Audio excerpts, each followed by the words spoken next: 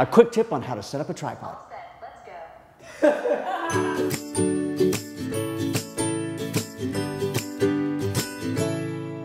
Hi, this is JP Morgan. Today on the Slanted Lens, we're going to talk about how to set up a still photography tripod, the correct way to do it.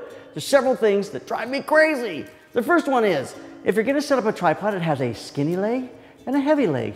Everyone wants to grab the bottom one if, it's not, if they're not going to go up very high.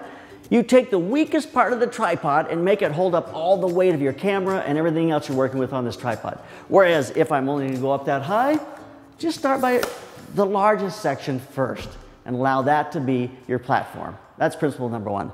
Number two, if I'm gonna raise my tripod, you know, a little beyond this section, but not all the way to this one, and I want it to be about right there, then drop all those onto the ground, and now it's level because all those legs are out the same length.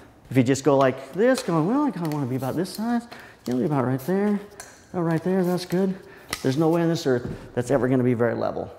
Now, I'm ready to put my camera on it. I'm all excited about putting my camera on.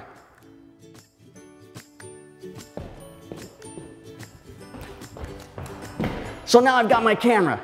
And the first thing people do is they slam it on here like this. And I know there's a bubble on the back of it. But when I have to go to change the battery, I can't get to the battery because this little knob right here is covering up the battery cap. So I always take this, turn this around so that that knob is going to be on the opposite side of the battery and I can tighten this up and it's not going to kill me getting into the battery compartment. So in the middle of the shoot, I can just quickly, battery, and we're off we go. Now different cameras may have the battery compartment in different places, which means you can put this on the other side from the battery compartment. But for this Canon Mark III, it needs to be on the camera left side. Next, this drives me crazy. Let's set up the tripod like this and we can shoot. So what happens to me when I come in? I do this. The leg is right there. I don't want to have to straddle this leg because the chances of me kicking this as I go in and out are just too great. I want to go here. Now, understandably, there are situations where to get your tripod into where you need it to be, you have to set it up this way. I understand that happens. But for the most part, I want this leg forward the ability to get in close to the camera and have a place to work right in here. So next, don't set your tripod up exactly where you want to shoot. If I want to shoot at eye level, set your tripod up slightly lower than eye level. Now I have the ability to go up or down. Gives you the latitude to move up or down to be able to fine tune your shot. So you're not stuck with only being able to go up. So there's a few tips on how to set up a tripod when you're doing still photography.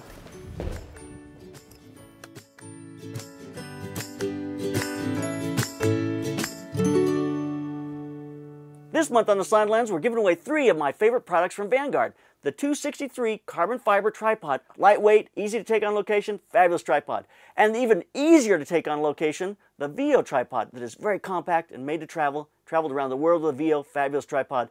And then last of all, an Alta Sky 45 backpack. Travel equipment, stuff to go where you're gonna go and to take with you. So get over to theslantedlens.com and you can sign up. Hopefully you'll win. Don't forget to subscribe to the Slanted Lens. We're hanging out here. We're waiting for you to subscribe. Quick, subscribe. I can't do this all day. You've got to subscribe. Quick, we're almost there. Thanks for subscribing. That was nice. We appreciate you being with us.